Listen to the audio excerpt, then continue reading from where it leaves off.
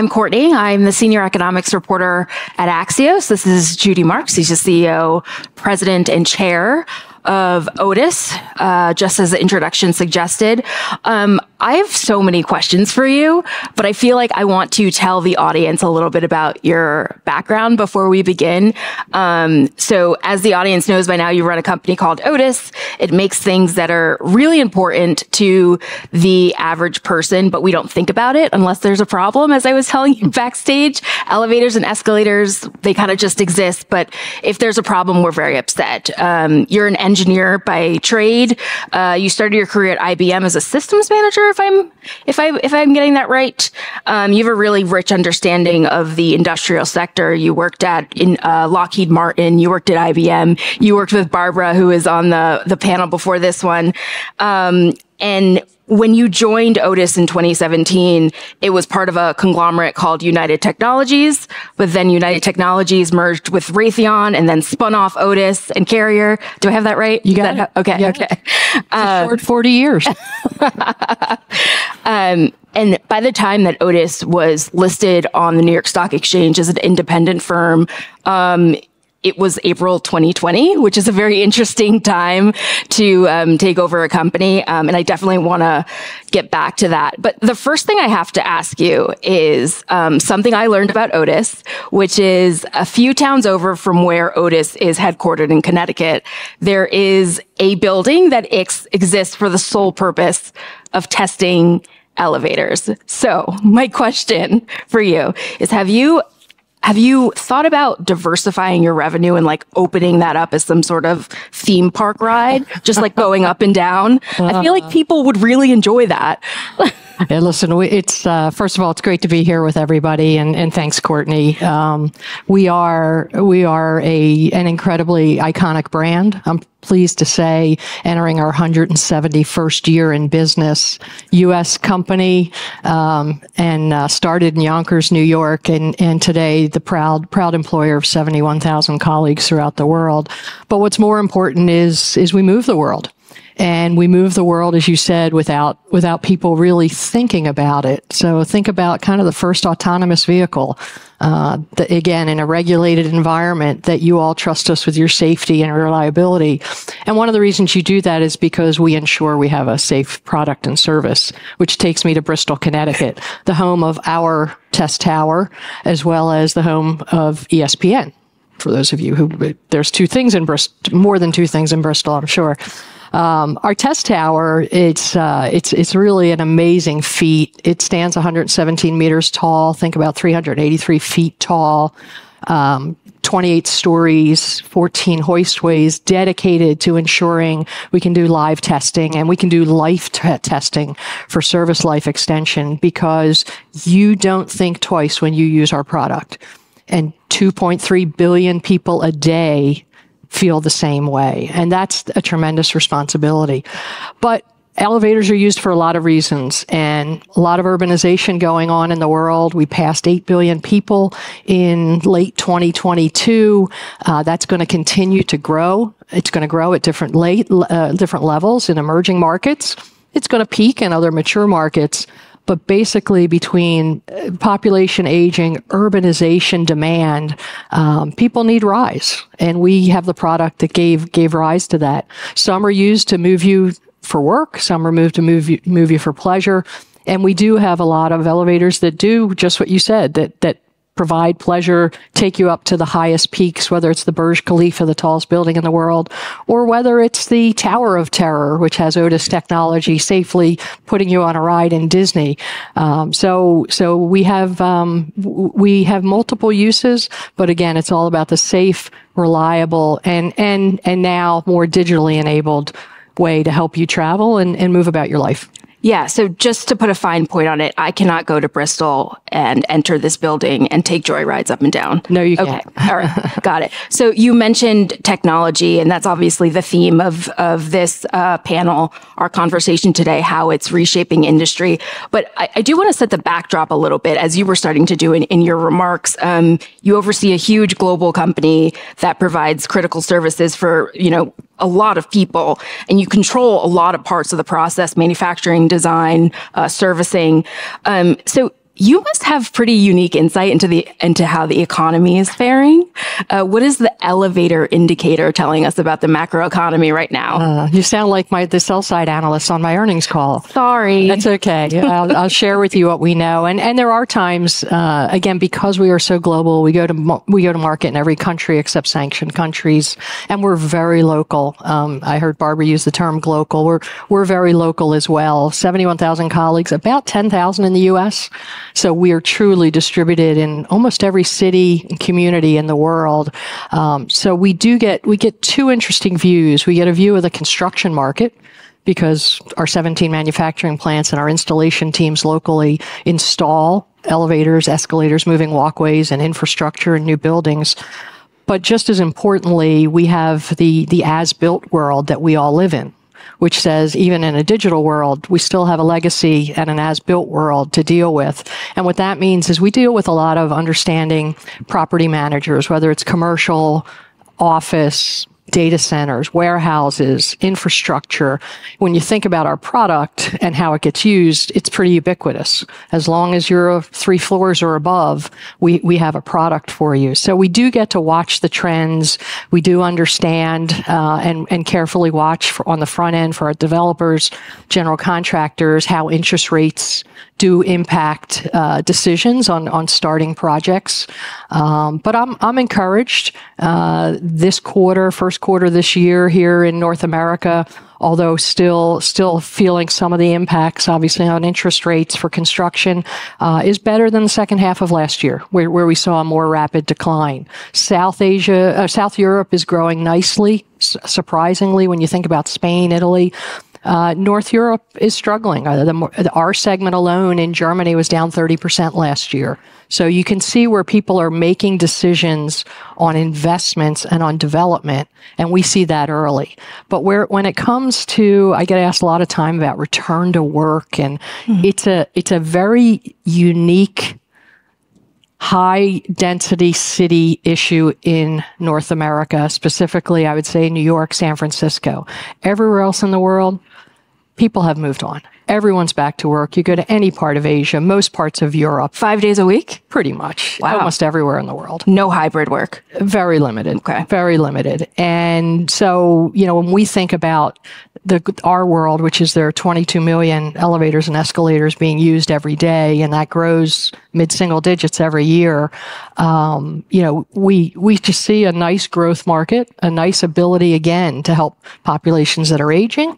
We help buildings that were built before elevators. Believe it or not, there are a lot of walk-ups that that where the where the condominium associations, the the uh, the inhabitants want want technology and then we see you know the ability in our in our world what our customers tell us is it's very simple we want we want safe effective speedy uh, delivery of people, traffic flow, which is what we optimize and what we use AI in, traffic flow, so that we have, so that as we build a building, we require less space and less hoistways to give you, and we can then either rent or sell that space. That that's what's that's the the world we're living in today, which which creates a much different environment than we've seen from what was predominantly a mechanical or an electromechanical product since since uh, since our founder invented the safety brake now it's it is a connected product and i'd love to talk to you about it. Yeah that's my next question. I mean i i, I want to know how elevators have become more innovative over the years. Like what does a high tech new cool elevator look like? And how else are you incorporating AI and digital technology into other aspects of your business? Well, I like to think of all of our products as cool and okay. no favorites. No, no and, okay. and and I get you know I, I it's fun the pictures I get of our vintage elevators. I'll get everyone sent, seems to like to text me, "Hey, have you seen this one?"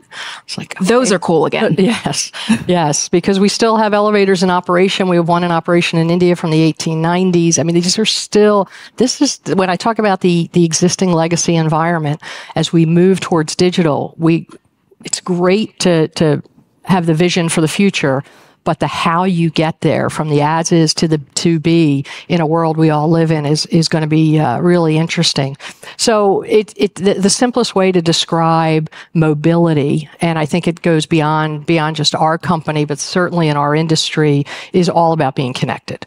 And it's the connection you want to have with the passengers. As I said, you know, think about the entire population of the world. You want to have that connection where information flow can happen effectively. So if you want to, you can use an app on, on your smartphone and you can actually call the elevator as you're leaving your, your residence, your condo, your apartment, you're leaving your office. Um, if you also integrated obviously with access control, with biometrics. So as you enter a building, it can recognize you without you having to, to do a thing or touch your, touch your phone or do anything. And you have the ability to get through the access control system. You get verified and then our technology tells you which elevator to go to because we actually have smart dispatching. We call it smart grouping. Many of you may have seen this in our world, the tradition was you would get in an elevator and you'd press a button. The challenge with that is you end up stopping on a lot of floors that you don't desire to be at. Yes. And you can't, you can't control the acceleration and the speed. I also push buttons by mistake. Okay. Well, and that annoys everyone. Like yeah, you. I'm that person. Hopefully, you're not that child. We we have to. We actually have the algorithm that allows us when every button's pressed to to clear them because um, children love it, right? And we all love that they lo- that they love being part of our of our ecosystem. Mm-hmm. But when you think about now, for many of you, you walk in a building, and before you ever get to the elevator, we call it our Compass 360 product. You actually push a button to say where you're going, and you say, okay, well, what is that? Well, that's smart grouping for us. That allows us to group people that are heading to like floors so that you can get the benefit of acceleration, you can get the benefit of energy efficiency, and you can get there faster. And we can actually reduce the amount of space these tenants need by up to 50% when we use this technology. So that's about being connected. But, but all that's fine in terms of the movement. The key is the data. The key is understanding traffic flow, information, when things are busy. You probably wouldn't guess the busiest time in an office building. What do you think that is? Mm, like in a post COVID world where no one's going into the office? In a normal world. In a normal world. Um, the morning when everyone's getting in? It's actually lunchtime. Oh, lunchtime. Because oh. you have two way trips, right? People are coming down, people are going up. Ah. So how do you optimize, how do you optimize for that? And then as one customer recently said to me, that's great, but remember we're bringing 500 summer interns in this year and they really care.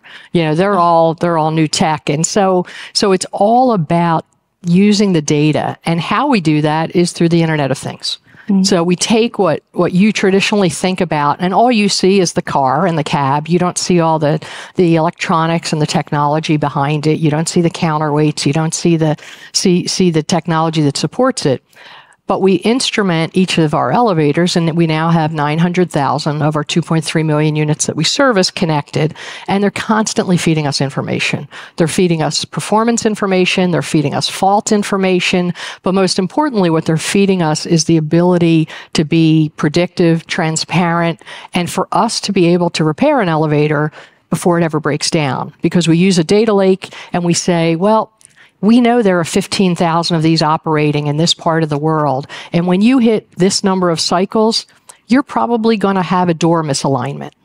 And so before that happens, we're going to send a mechanic out there with the right part at the time before it breaks down. And that's really what our customers want. They want their, they want their systems to work. Nobody wants to walk in and see that, that an elevator escalator is not working. That's the, la- you hate seeing that. We hate seeing that. So the Internet of Things just gives us the ability to, to, to make judgments, to be transparent. And we make sure our customers see this too. And so all of this together in this connected world uh, gives us data, gives us predictability. I think eventually it'll give us prognostics and the ability to, to actually self heal. Um, but the one thing about our industry that may be different than most of you is it's, it's obviously regulated for safety and it's life safety. So you trust us and we know we can't be off. We know we can't just allow technology to, to be an early Gen AI adopter to repair your to repair your elevator. So we walk this fine line and this responsibility as a as a long cycle business that again you've trusted with your you trust us every day to be able to marry up the advanced technologies to be able to provide enhanced services, to be able to provide um, predictive technologies, but to do it in a responsible way. And, you know, I'm sure we're going to talk about where AI is going and Gen AI, but it's, to me, it's all about doing it responsibly. And, and, and, and we have that responsibility as, as the leader in the industry. Yeah, so there's no moving fast and breaking things at Otis just because the nature of the product that you produce is so important and you're right, you have our lives in your hands. So that to me seems like such an interesting tension. I mean, I'm sure you sit back and see how quickly technology is moving and how quickly innovation is happening. And aren't you tempted to just jump in both feet first and say, let's try this. So yeah, I'm a I'm a technologist at heart. That's right. You love technology. Yeah. I am always tempted to do it, and we will tempt. We will do it, but we'll do it in the right places at the right time. So, you know, an example, we, we provide our API, uh, our application programming interface to operate the elevator to proven companies who right now all over the world are implementing robotics and they're having robots in a hotel deliver room service. They're having robots deliver supplies in a hospital and they're doing this in a way where they, again, and I, and I know you've had these discussions where we want to find the right place for human value add versus the right place where AI can replace some of the more repetitive, menial, or other tasks. So for us, it, and you think about labor challenges that was just spoken about in the last panel. When you think about the labor challenges you have, if you can then instead use a robot, if that robot can electronically and digitally talk to the elevator, which it can.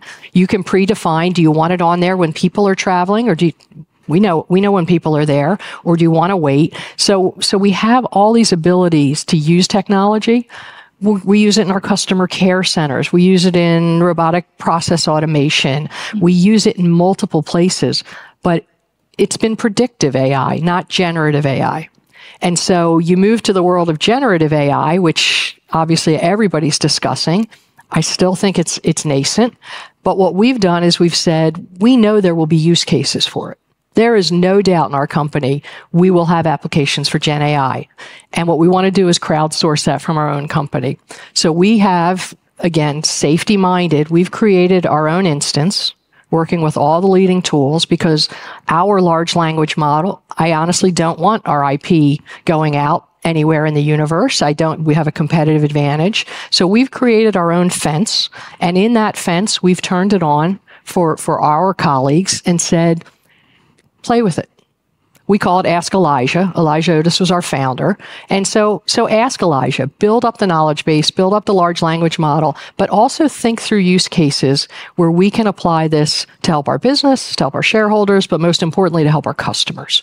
Mm. So I think there isn't a single company or in any industry that isn't trying to evaluate this, isn't trying to apply this, isn't trying to figure out the ethics of this and we have to do it responsibly. But we can't we can't just say I'll wait.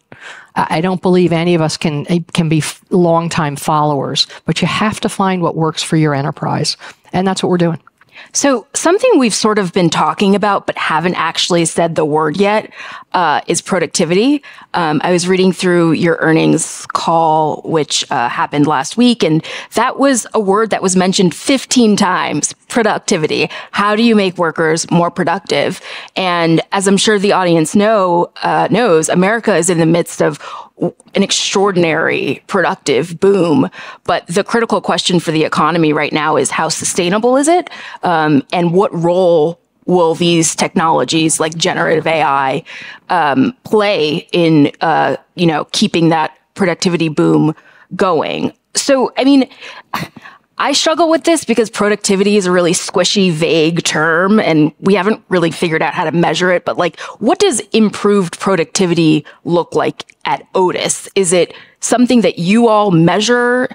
Um, is it you guys were doing things one way, you know, a few years ago, and now you're doing it this way? What does increased productivity look like? Yeah, I think I can speak for most companies, but but we try to instrument and measure and have key, performance indicators on as much as you can. And we do measure productivity. So we really have two businesses. We have a new equipment business again, which puts us more 17 manufacturing plants. In there, we measure two items. We measure material productivity. how are we doing in all of our manufacturing KPIs using Industry 4.0, using IoT on the floor of our manufacturing plants? How are we doing in being able to measure and bring down the cost of production? But for us, that's just a piece of it because an elevator is a unique industrial product. We don't ship a final product. We ship at the, our final product gets installed in a hoistway on a construction site in a building. We ship multiple pallets in, in agreed order so that they can get installed as a construction site's going up. So for us, we then measure installation productivity.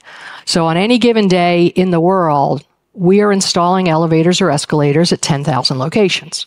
Now, it takes longer than a day, but on any day, anywhere in the world, that's what we're doing. So understanding how our colleagues are doing in terms of performing that installation, making sure they get the parts in the right sequence with the digital instructions on how to install them, making sure they can test them, simulations we do in, in, in our, in our test labs to make sure they can be more efficient all of that helps. An app that helps them actually integrate all the communicate, wireless communications that go on inside an elevator. Trust me. So we measure material productivity and installation productivity. In our service business, which is about 60% of our revenue and last year was over 90% of our profits, we focus on service productivity. How many how many hours does it take if there's an issue time to repair? How long does it take us to answer answer a call? So for that, you say, well, how can you how can you apply technology beyond what we call Otis One or IoT? We do route optimization software. We have a fleet of 22,000 vehicles. And so how can we make sure that as we're, as our, as our incredible field professionals are, are working, how can we make them more efficient and effective first to respond to a call? Or to schedule their routes if on on scheduled maintenance. But then once they're there, are they there with the right part? Do they know in a 12 story building where to go? Where's the issue? Well, this is what IoT tells us. It says go to the seventh floor and it's, it's the landing door. Mm. So they don't have to spend as much time there. And, and when they're more productive, and I, I tell this, we've got 42,000 field professionals in our company. And what I tell them is we're here to grow our company and we need more and more of you, but we need you more productive. We don't need less of you.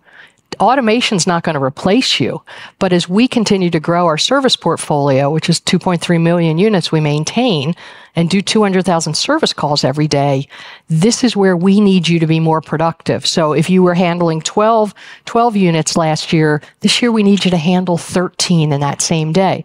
But we can't just say work faster or smarter. We have to give them tools.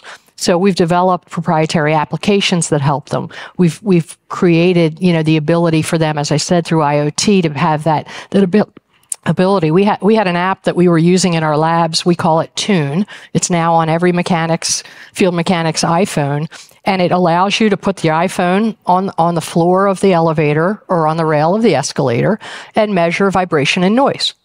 Okay, it's not Spotify. No. Okay. No. Because Tune sounds like. I, yeah. I know. I'm, I'm sure Daniel will be okay with that.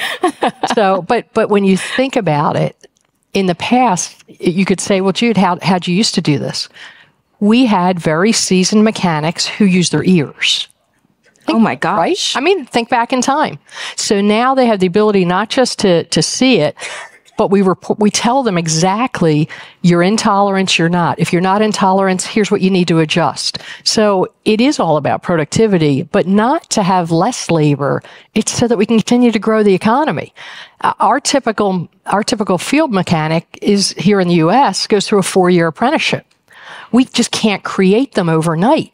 So, so how do we continue to grow our business, which we've been doing on the top line and, and, you know, been doing double digit EPS growth? How do we do that with, with, with the pool, labor pool we have and the labor pool we want to grow, but there's a time lag? Mm-hmm. So.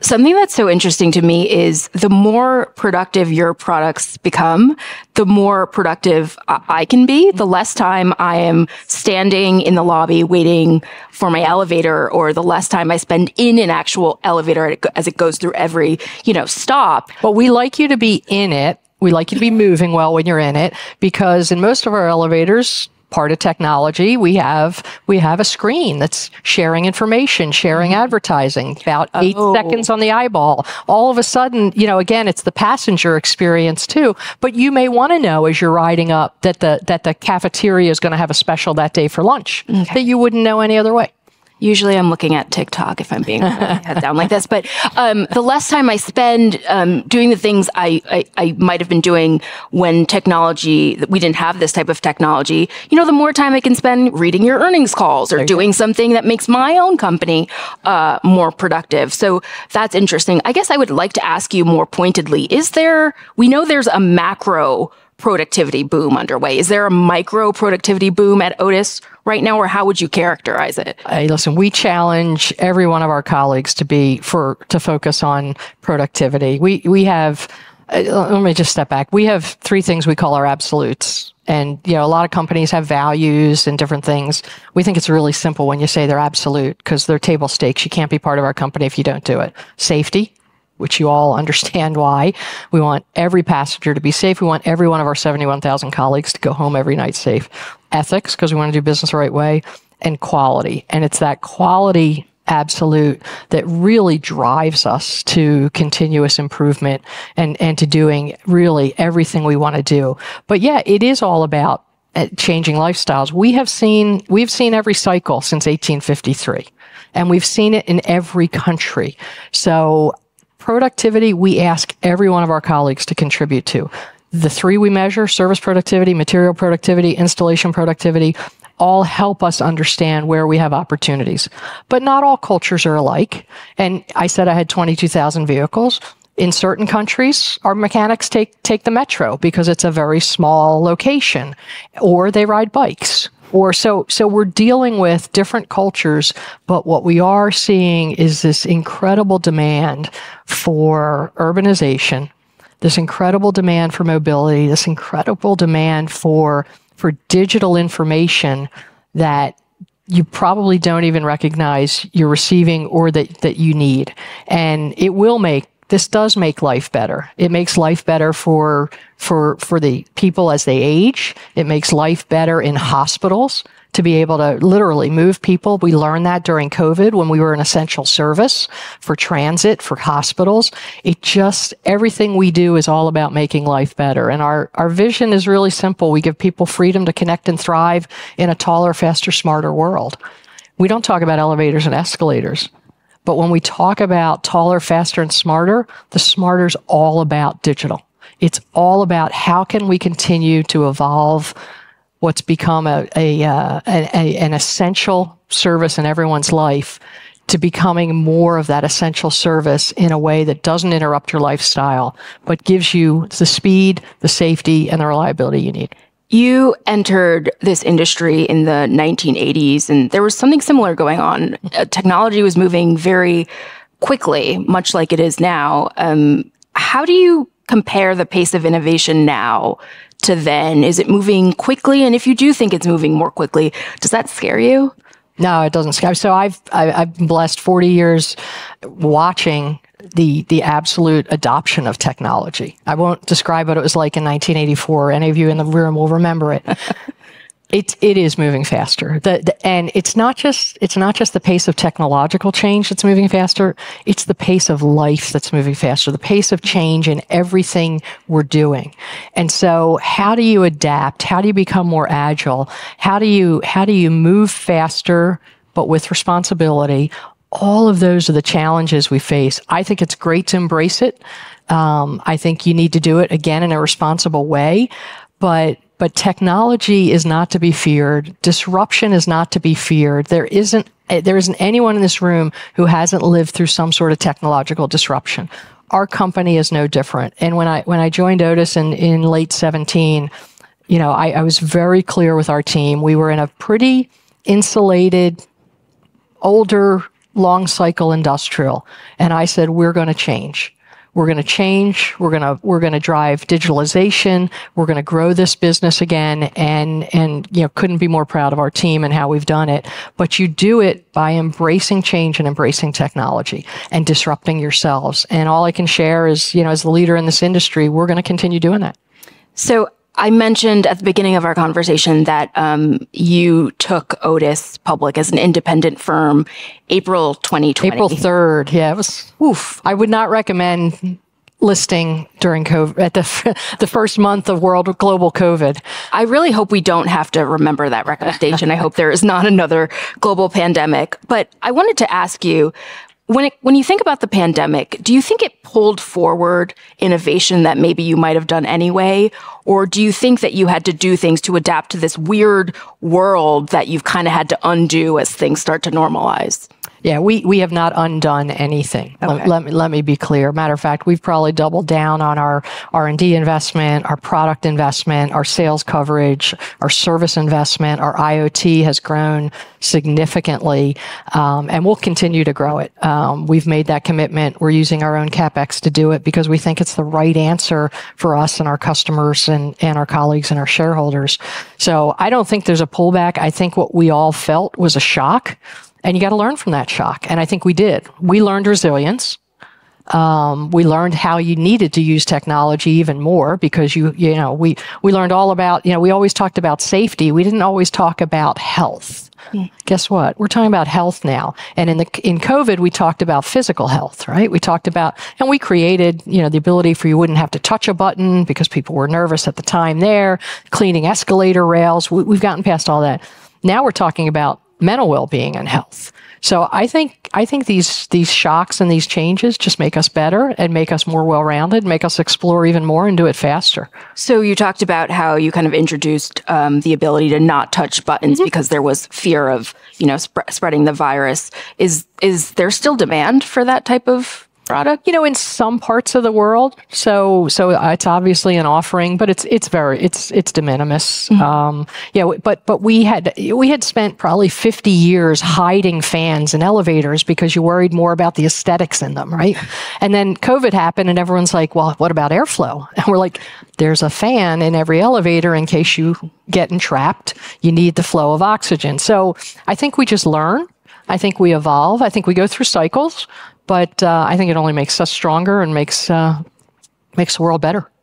Um, we have one minute left. I could ask you more questions about your elevator testing tower, or I can ask you um, what I think is a very important kind of macro question, which is, you know, we've spent 20 minutes now talking about the factors that help companies become more productive, technology really.